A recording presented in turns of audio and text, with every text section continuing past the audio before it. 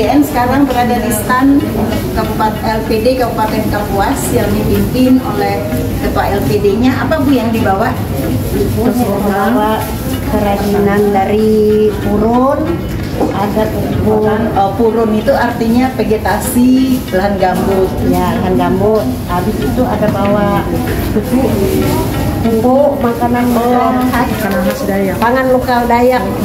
Eh, Jadi kopo dari tuh nah itu zaman belauhuran hulu Dayak tuh kuman gitu ya Bu. Iya, ya. Pengganti bari Pengganti bekas. Terutama pada tahun 64 65. Apalagi Bu. Nah. Nah ini sedang populer sejak kehadiran Dirjen Oda kemarin ya, Ya, sampai ya. dengan hari ini scrap dari Kabupaten Kapuas. Ya, ada Kabupaten Ya, Kapuas. sekarang bagaimana peningkatan produksinya Bu? Alhamdulillah meningkat dari pesanan. Sekitar 40 persen bu 40 Iya, persen kita bagus. Iya.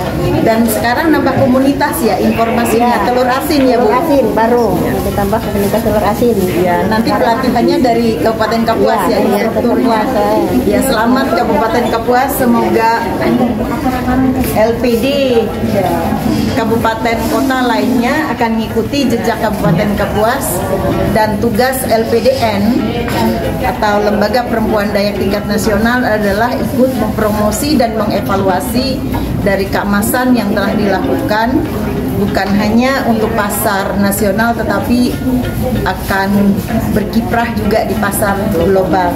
Terima kasih Bu Ketua. Terima kasih Ibu.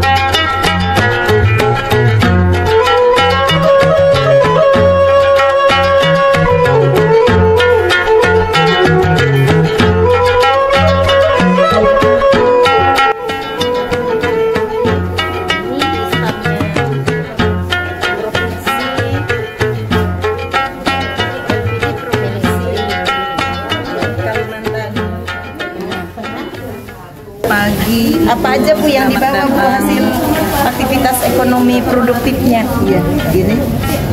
Sumping kata-kata ini belangkongnya Dayak khusus untuk perempuan.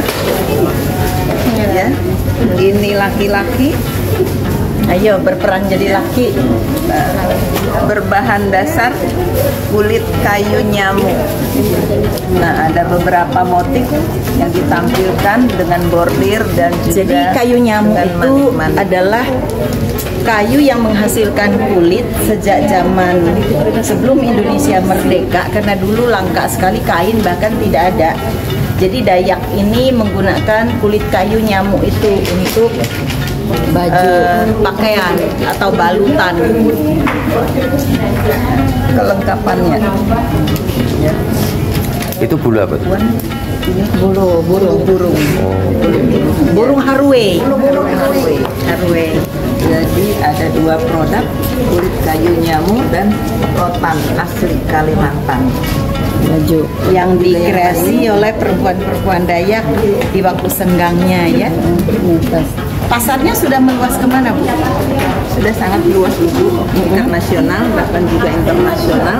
Internasional ke negara mana aja?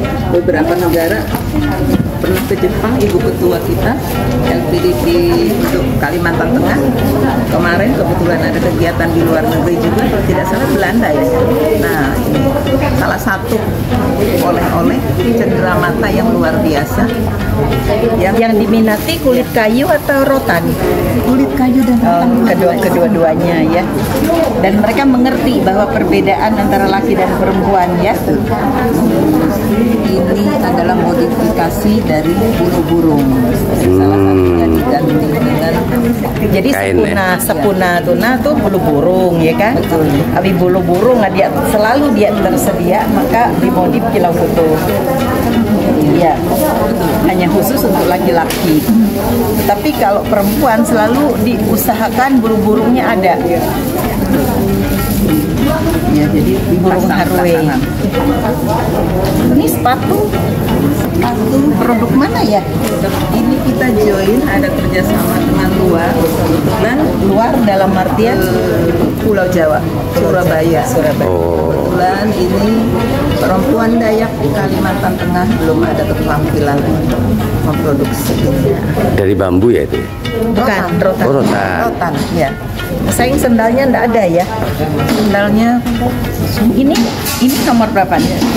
38. Ada 39 enggak? Eh, cuma 38. 38, saya 39 juga perlengkapan. Pernik-pernik ya? Iya. Yang dipadu padan nantinya dengan produk baju Dayak Kalimantan. Bahan dan